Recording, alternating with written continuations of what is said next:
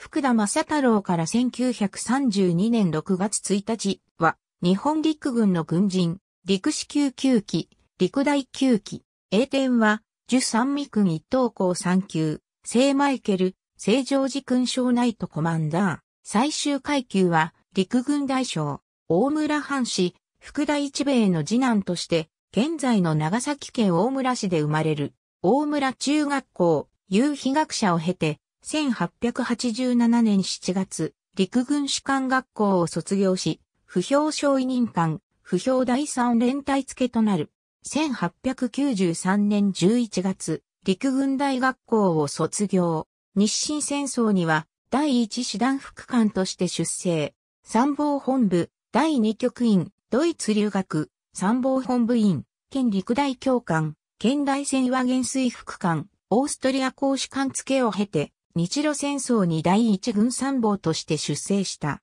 開戦前は、田中義和、秋山正幸らと共に、対露早期開戦派であった。第一軍参謀副長、第三師団参謀長、オーストリア公使館付、参謀本部課長、不評第38連隊長、不評第53連隊長などを歴任し、1911年9月、陸軍少将に進級。不評第24旅団長、関東都督府参謀長、参謀本部、第2部長、中国出張などを経て、1916年5月、陸軍中将となる、欧州出張、第5師団長、参謀本部次長、台湾軍司令官などを歴任し、陸軍大将に進級した、軍事参議官となり、1923年9月の関東大震災に伴い、関東海軍司令官を兼務、在職中、甘かす事件が起こり、その不手際を問われて司令官を更迭された。1924年、第二次山本内閣大臣に伴う清浦内閣組閣に、再し、上原優作により、陸軍大臣に推挙されるが、田中義和らの工作により就任は叶わなかった。同年9月1日、甘かす事件での大杉久志殺害を怨恨され、東京本郷三丁目のフランス料理店で和田久太郎により狙撃されたが無事であった。1925年5月23日、福岡市東中洲の料亭での立花大将の福岡市長任命祝賀会にて、再び狙撃されたが、無傷だった。同月、予備役に編入された。その後、1928年1月、大日本相撲協会会長、1930年4月、数密顧問官にそれぞれ就任した山形有友亡き後、立場の違いによる意見の対立はあったものの、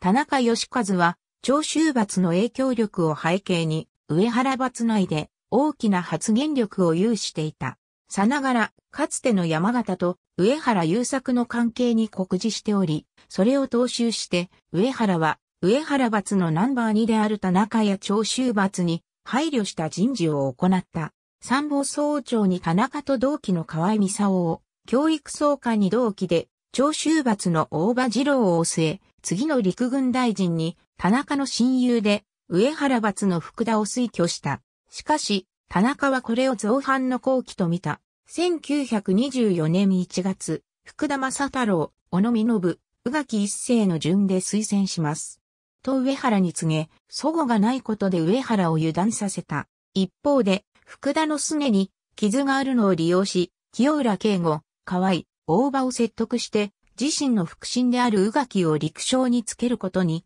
成功したのである。この時、逆の順番で清浦に推薦したとも言われている。また、田中は研究会を介して清浦に圧力もかけている。さらに三長官一致の原則の了解を得て、候補者とするを導入し、上原の権力をそごうとした。これ以後、上原閥と長州閥の構想が始まることとなった。福田は親友に裏切られ、そのまま予備役入りすることになってしまったのである。1925年4月8日、軍事参議官会議において、田中の予備役入りを審議。この審議は田中を予備役入りさせたい福田らの要望だけでなく、田中本人が望んだものであった。当時の参議官は、山梨半蔵、大場以外は、上原閥もしくは準上原閥であったため、田中の予備役入りは即日決定された。田中は、三浦五郎の支援を受けて、政界入りの準備を完了しており、翌日陸軍を退役して、声優会総裁となる。現役の身として、声優会総裁の噂を立てられた以上、それだけで、すでに現役に折れぬ。と、田中は、新聞記者一同の前で小芝居をしてみせている。陸軍機密費横領問題が事実であれば、田中は陸将時代からすでに政界入りを計画していたことになり、予備役入りは望むところで陸軍への影響力保持のため宇垣を陸将に据えたのである。しかし、その後の上原罰との敵対、宇垣の離反、長州罰の駆逐による陸軍への影響力の低下が原因で総理大臣を辞職することになったことは皮肉と言わざるを得ない。異界勲章等外国勲章廃用隠居。ありがとうございます。